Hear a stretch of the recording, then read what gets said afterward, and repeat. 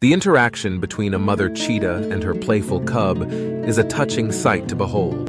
The mother's agile form gracefully bounds alongside her cub, matching the cub's energetic playfulness with a tenderness that contradicts her predator status.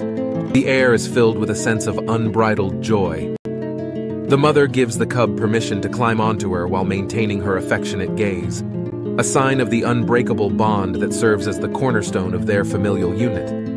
The cub's eyes sparkle with adoration as they play together. This captivating look into the world of a mother cheetah and her cub amid the vast grasslands paints a striking picture of the wild tenderness that thrives in nature.